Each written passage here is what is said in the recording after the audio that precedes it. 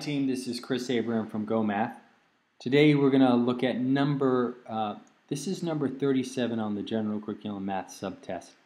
We're going to take a closer look at this problem and find out ways to uh, work with this. It involves uh, translations and we're going to, translation is, involves moving a shape in space. There's a variety of different types of translations um, but in this problem right here we're going to be focusing on two types of translations. So number 37, use the diagram below to answer the question that follows. And then it gives us um, gives us the gives us a diagram, the, the hand here with the finger pointing up. It says if the image of a pointing hand in the graph above is rotated 180 degrees about the origin and then reflected across the x-axis, which of the following graphs will result? Well, we should talk about these two key ideas here, which is, um, I don't know if you can see this on, uh, on your screen, but uh, if I zoomed in a little bit,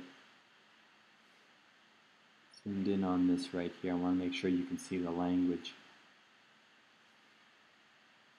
We're going to be dealing with rotations and reflections. You can't really, that really doesn't help, does it? All right, go back.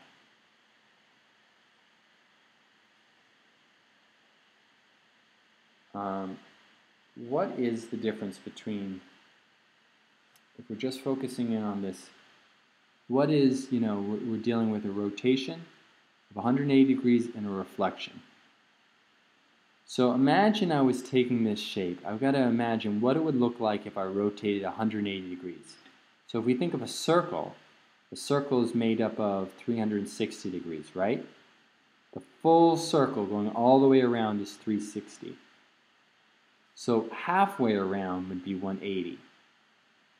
All right, so I'm going to be shifting this all the way around.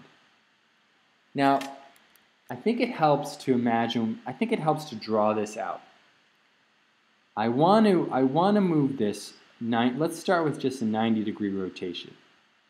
Let's see, the finger starts at the top, so now it's more closer to, uh, here's the thumb, now it's more closer to right here. And that is not the middle finger, that is the index finger. Um, that's 90 degree rotation. Now I move it again. Now it goes from pointing this way to sort of pointing down here. So I moved it 90 degrees, and then I moved it 180 degrees. I could move it again if I wanted to 270 degrees, or I could do the full 360 and that would get me to the top one. But I'm only doing two, two uh, rotations of 90, so that would be one quadrant and then the second quadrant. 180 degrees usually means it's, it's totally flipped.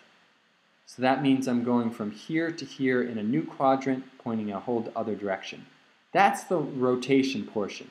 Now it talks about a reflection. A reflection a reflection would be if I took this right here and I flipped this image like a mirror directly over the y-axis or the x-axis. And that would, that would get me to this one right here. That is a complete rotation around that axis. So my answer choice, oops, my answer choice would be C. Let's take a moment, let's review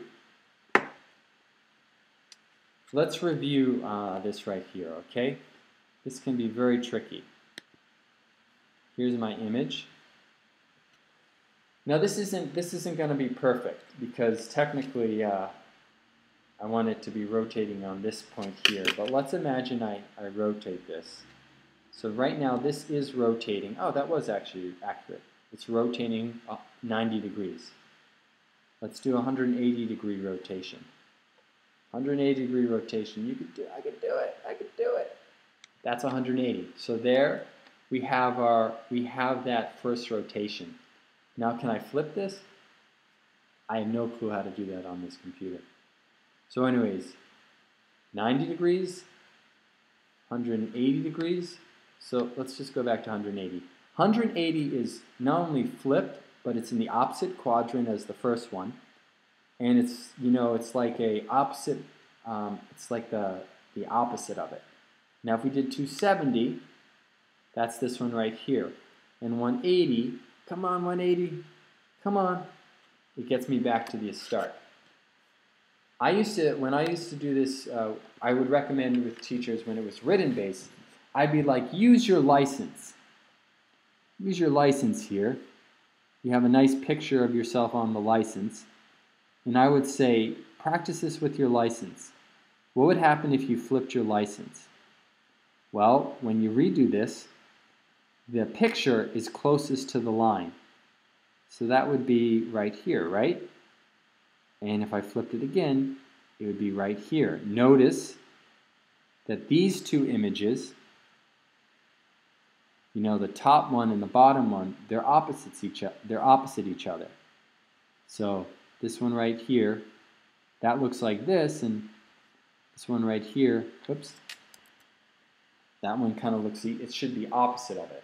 And then I flip it again. A reflection, reflection is when you take the whole thing you flip it over, and that gets you your reflection. Oh, I didn't do that right. A reflection, let's, uh, reflection, uh, let's say we do the reflection over here. All right, this is going to come out tragically. It would be something like that. So I want you to try this. Use your license, get a piece of paper, practice this Practice this with a couple of um, practice this with a couple of different uh, shapes. Okay, you can. All you need to do is get a piece of paper, draw a coordinate grid, practice with a pencil, rotating that pencil on that grid. I'm really serious on this. Something like that right there when it rotates it, oh, the corner that's at the, uh, almost think about a nail going into that object. So that corner stays always, doesn't even move. You could also, you could also, also test this out with your license. See how, see what happens when you, see what happens when you rotate your license and how that picture is uh, repositioned every time you rotate it. Um, and this way you, you get some practice with rotations and you get more familiar with this translation portion of it. Okay, and I think I actually, uh, the picture should be up here. Yeah, that's right. All right, team, I hope you found this helpful. Um, again, this is Chris Abraham from GOHmath. Uh, keep on checking out the Harvard Square MTEL Math workshops. Um, or go to go to the GOHmath website and you can find out more information all about um, the different types of tutoring that we have if you need some extra help. Thanks again for watching. Have a great day. Bye-bye.